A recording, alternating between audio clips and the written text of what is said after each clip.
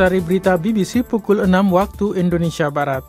Pemimpin FPI Rizik Sihab dilaporkan akan pulang ke Indonesia dalam waktu dekat sementara polisi mempertimbangkan meminta bantuan Interpol. Apakah akan diterbitkan uh, red notice atau tidak? Tidak dalam arti kita uh, melakukan upaya sendiri untuk melakukan pemeriksaan.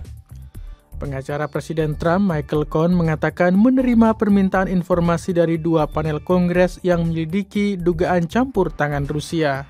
Dan pemerintah dan pansus RUU Pemilu sepakat menambah jumlah anggota DPR menjadi 575 atau meningkat 15 orang.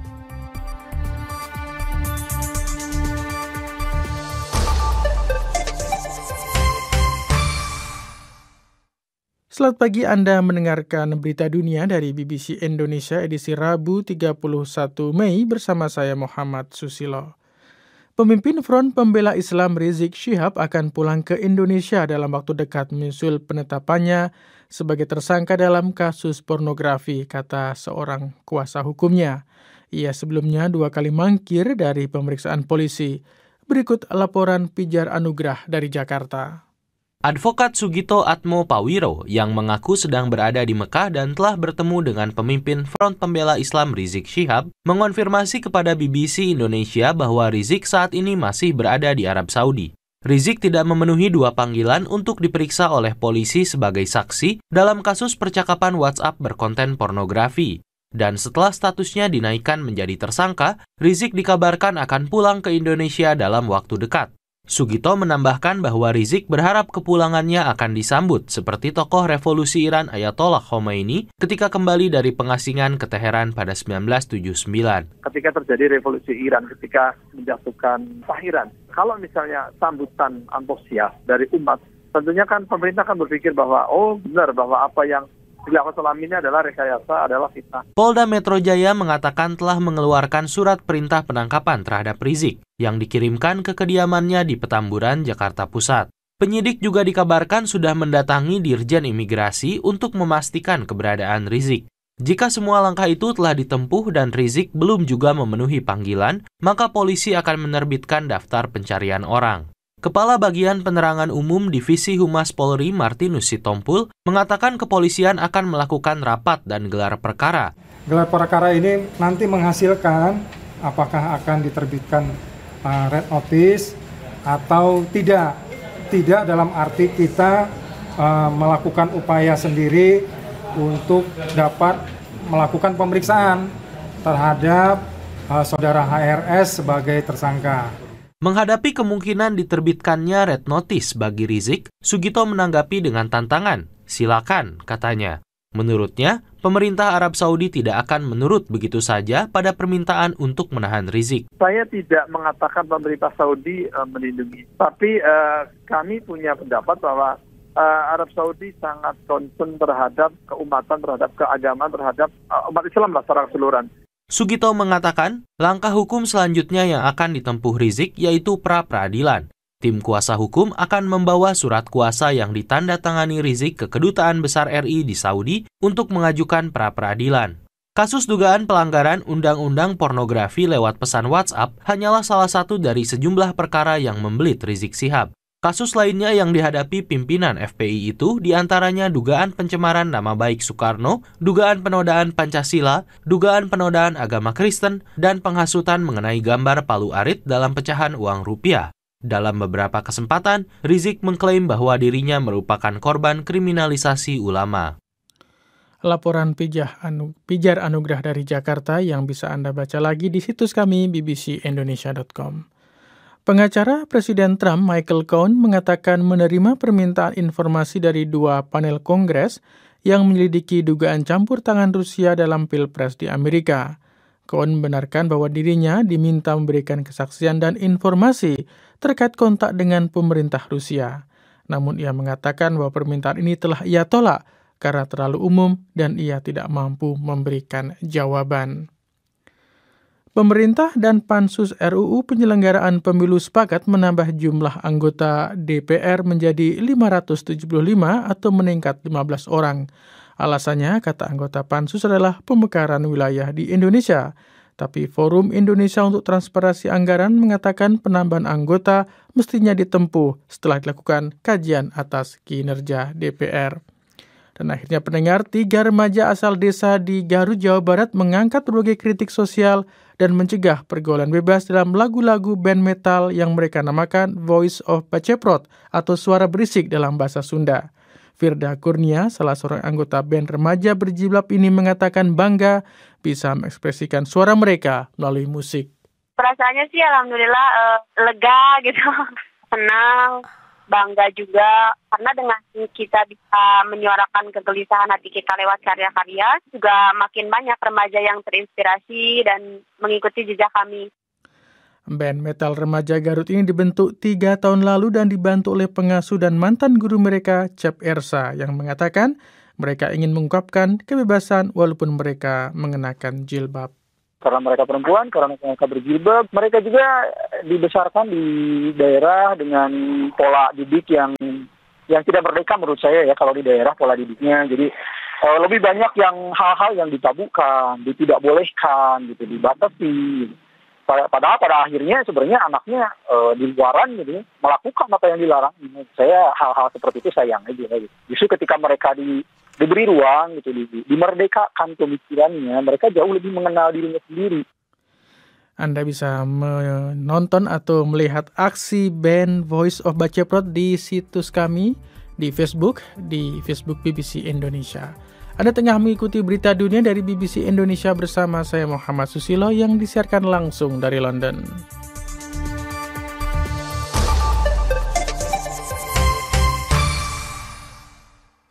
Kita temui kembali Liston Serigal kali ini dengan kilasan berita olahraga.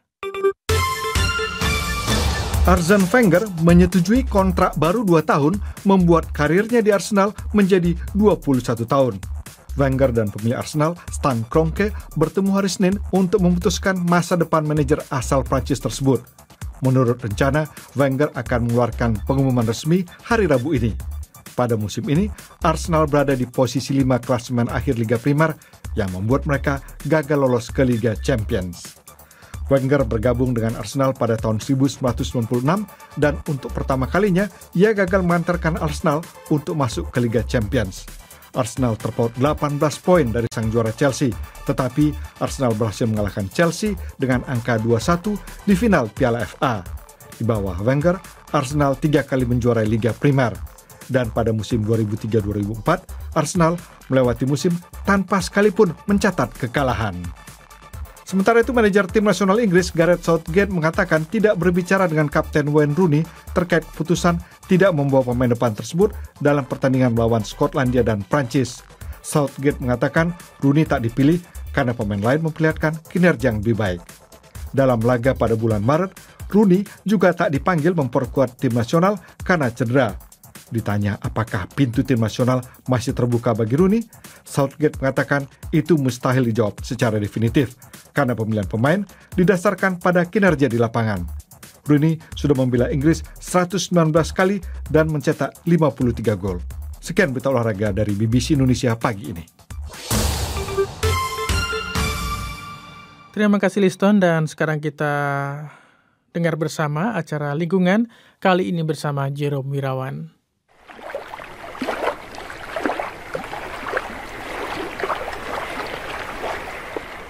Musim kemarau diperkirakan bakal melanda Kalimantan Timur sebulan lagi. Meski demikian, sudah sejak beberapa bulan lalu, sejumlah warga telah mengambil air untuk keperluan sehari-hari dari 632 lubang bekas tambang yang tersebar di provinsi itu. Seperti dituturkan Rahmawati, seorang warga Samarinda. Ya, airnya dimanfaatkan dari penduduk sekitar situ. Kayak kebutuhan sehari-hari, mereka untuk mandi, cucian, Tindakan masyarakat yang mengambil air di bekas lubang tambang sekilas dapat dipahami lantaran air di sana tampak jernih. Menurut Teresia Jari, pegiat jaringan advokasi tambang atau Jatam di Kalimantan Timur. Secara kasat mata, memang air lubang tambang itu terlihat jernih. Kadang berwarna biru, bisa juga warnanya hijau, dan sangat ber, sangat bening.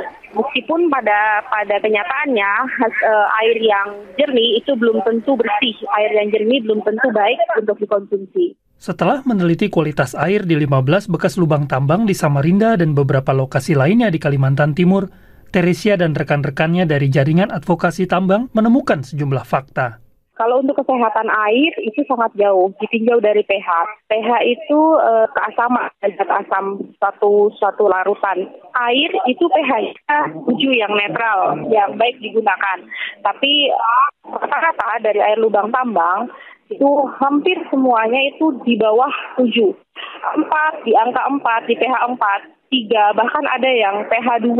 Selain pH, ada parameter lainnya seperti logam berat. Logam berat juga tinggi, lumayan tinggi. Baik pangan, bersih, arsenik, aluminium, seng, itu kalau untuk kesehatan tumbuhan, hewan maupun manusia sangat buruk. Air yang mengandung logam berat di bekas lubang tambang tidak akan langsung menunjukkan dampak ketika dikonsumsi masyarakat. Kembali Teresia Jari, pegiat Jatam, Kalimantan Timur. Loga, kalau untuk logam berat itu memang sifatnya akumulasi, tidak terasa tidak terasa uh, sehari, dua hari, sebulan, dua bulan, atau setahun, dua tahun. Sifatnya akumulasi. Logam berat itu kan unsur yang susah dipecah, sehingga ketika masuk ke dalam tubuh, uh, maka dia akan akan uh, tertib di dalam tubuh dan kemudian uh, bisa berdampak banyak hal seperti uh, jadi kanker kulit, uh, kanker kalau untuk perempuan untuk untuk perempuan itu kanker payudara misalnya seperti itu. Berdasarkan peraturan Menteri Energi dan Sumber Daya Mineral, penggunaan sumber air di lubang bekas tambang oleh masyarakat diperbolehkan.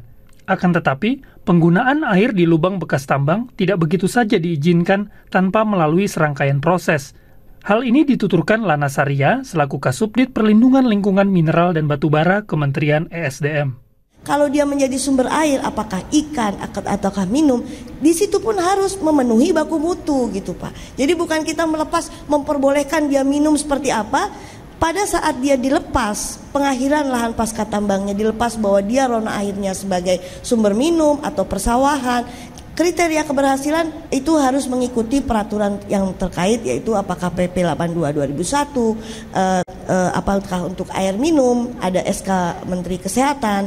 Jadi harus mengikuti itu Pak. Nggak kita akan lepaskan kalau dia belum memenuhi baku mutu yang diperbolehkan. Penjelasan Lana bahwa air di lubang bekas tambang harus melewati serangkaian proses sebelum bisa digunakan masyarakat sejalan dengan pernyataan Kasubdit Penegakan Hukum Badan Lingkungan Hidup Provinsi Kalimantan Timur Mukrim Dadang. Oh itu harus ini, harus apa namanya, harus dilakukan uji dulu, diuji apakah itu memenuhi baku mutu untuk konsumsi atau tidak. Itu biasanya yang digunakan oleh penduduk itu adalah untuk MCK ya, keterbatasan air mungkin di daerah mereka. Kalau yang tersedia air bersih mereka tidak menggunakan itu kok. Bagaimanapun peraturan pemerintah pusat maupun daerah berbeda dengan temuan di lapangan, kata Tommy Apriando, wartawan yang melakukan investigasi di sejumlah lubang bekas tambang di Kalimantan Timur. Air bahkan dibuang secara uh, terang-terangan ke irigasi yang kemudian kita tes airnya ke lab di Bogor yang data pH-nya benar-benar uh, rendah sekitar 3,4 atau 3,6 gitu ya. Bahkan ada yang lebih kita temukan gitu ya di lapangan air lubang tambang digunakan sebagai air PDAM lokal oleh warga. pH-nya kita ambil ternyata 3,6 gitu. Pendengar penjelasan tersebut sekaligus menutup program lingkungan kita kali ini. Saya Jerome Wirawan mengucapkan terima kasih atas perhatian Anda. Sampai jumpa.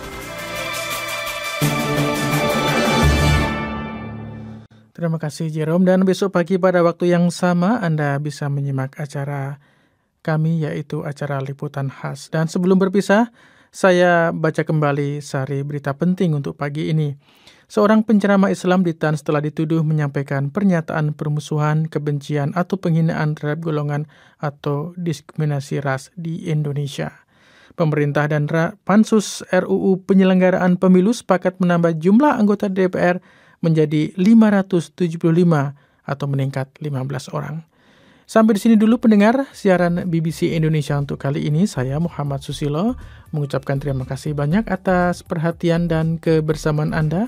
Selamat pagi, selamat beraktivitas. Jangan lupa klik bbcindonesia.com untuk mengikuti berbagai perkembangan terbaru.